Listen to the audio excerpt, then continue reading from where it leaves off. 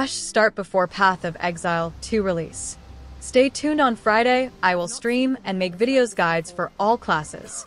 This is my warm-up for Path of Exile 2. What do you play now? Let me know in the comments. Have a good one.